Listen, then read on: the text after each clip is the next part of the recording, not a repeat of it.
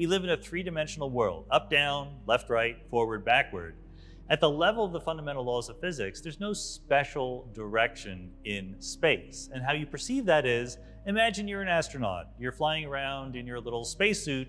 There wouldn't be any difference between any direction you could look. There's no experiment you could do in physics that would point out a direction in the universe, but space still exists.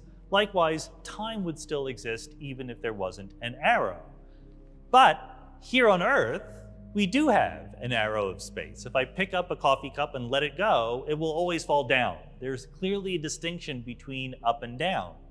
No one is tempted to think that the arrow of space, at least no one in this century, is tempted to think that that's a fundamental feature of the universe. We all know why things fall down. It's not because downness is embedded in the laws of physics, it's because we live in the vicinity of an influential object the Earth. And we can even imagine it wasn't there. We can put ourselves in an alternative universe where we're floating in outer space.